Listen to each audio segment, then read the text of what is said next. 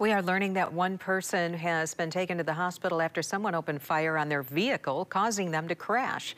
Around 5 o'clock yesterday afternoon, police were sent to the area of Elm Crossover by West Main Street. Officers learned that a passenger in one vehicle had shot at another. The driver of the second vehicle was hit by gunfire and then crashed. Police say their injuries are not life-threatening. KDPS is still looking for suspects. Anyone with information is being asked to call the department or Silent Observer.